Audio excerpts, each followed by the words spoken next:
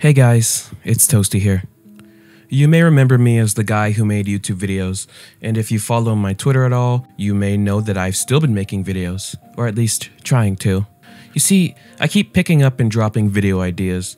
I've already gone through two of them, and while I may come back to them later, I figured that I needed to make a video just on what I wanted to make a video on, regardless of whether or not it's a really popular subject, to prove to myself that I'm more than just a few Roblox iceberg videos. And so, this is a video about how to with John Wilson.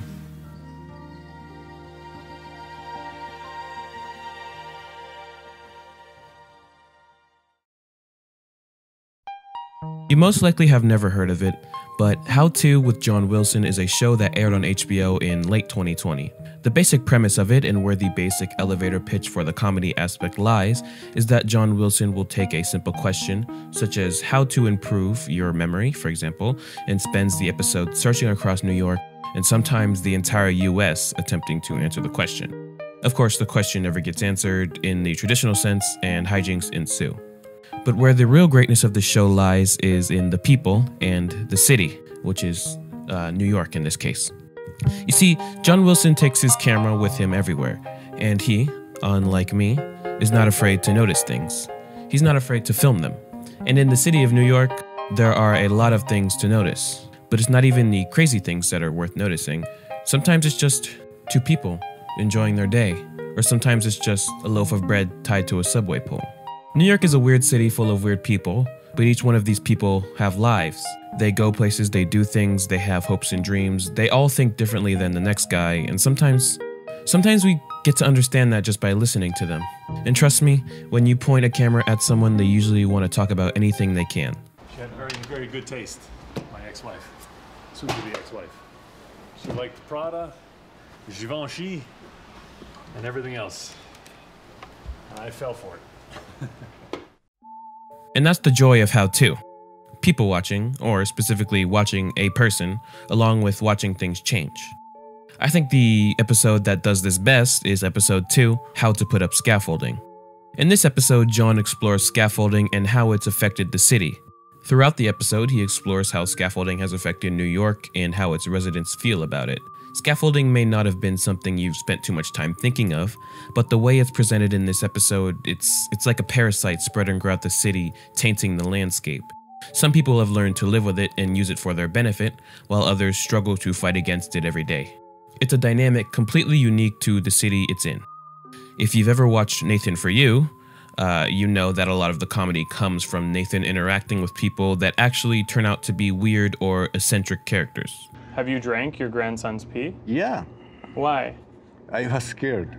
What do you mean you were scared? Yeah, sometimes you're scared for for something. You What are you know, talking about? Accident or something. You drink the grandson's pee, and it's gonna help you. How To is quite the same, and this is made clear when John talks to a man about his sexual experiences with scaffolding. He had scaffolding set up on the side of his house.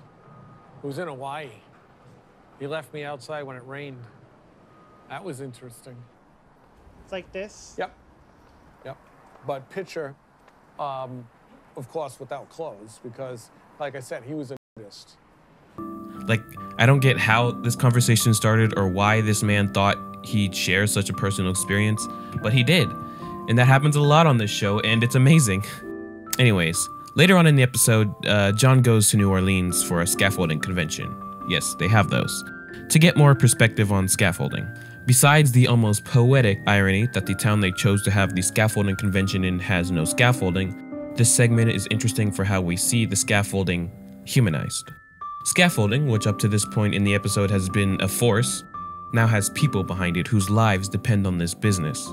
They live and breathe scaffolding and they want to improve scaffolding and they view it as art. And wow, how can I be so passionate about scaffolding? and then we meet this guy who buys and sells scaffolding. The conversation with this dude is short and it goes as follows.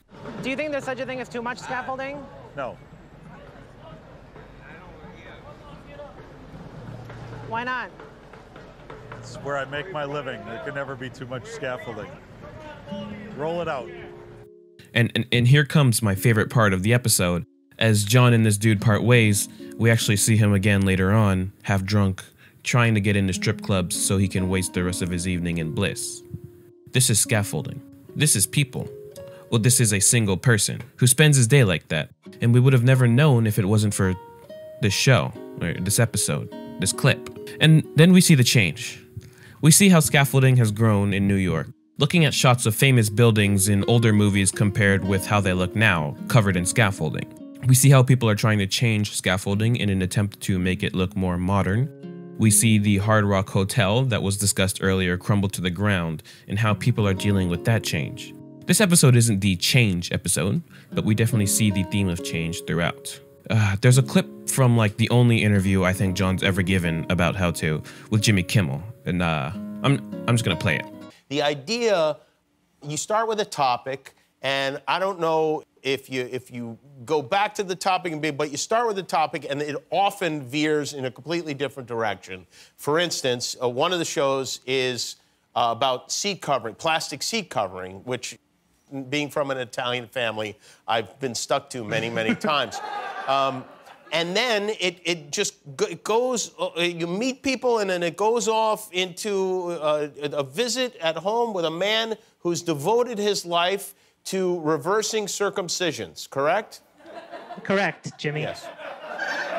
And that's exactly what it is. There's not a single better example of people watching than that. It's impossible. This is watching people.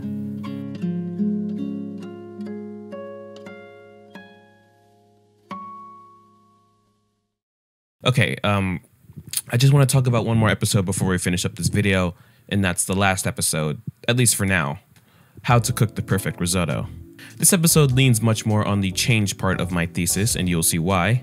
It still has that aspect of people watching. In this episode, John literally just walks into someone's house and they cook risotto for him, and then he talks about his theories on alien impregnation. There were the, the, the aliens, like. Well, we, like- I, I think we are. We have definitely been. My God, we have been impregnated by. Uh, we have some. We are actually aliens. And then John follows a man with the exhaust thingy. Uh, the uh, his exhaust pipe makes a lot of smoke, and they talk about pollution and his truck's effect on the planet.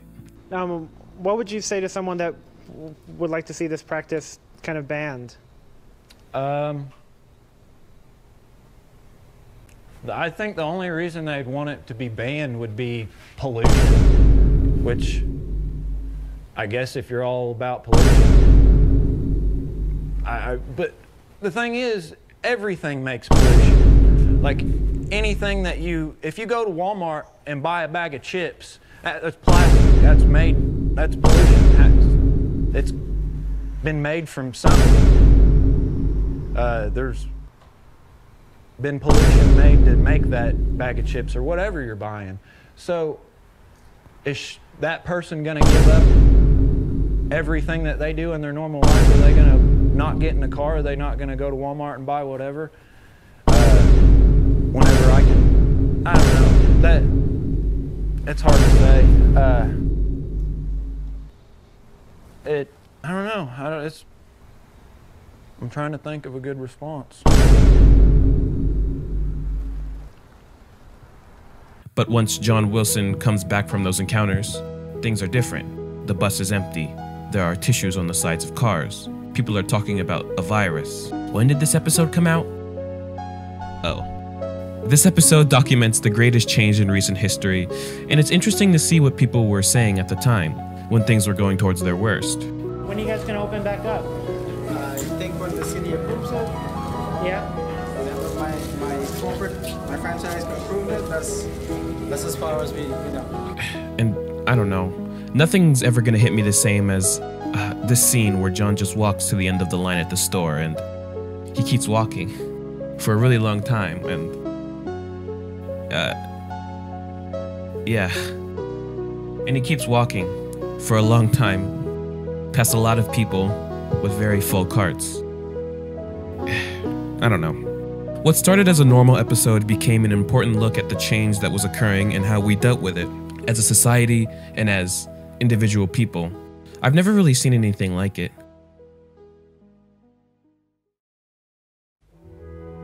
And so, How To with John Wilson is a show about the art of people watching.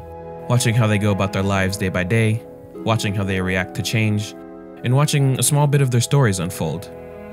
So, next time you're out, look at the people around you. You never know what you may see.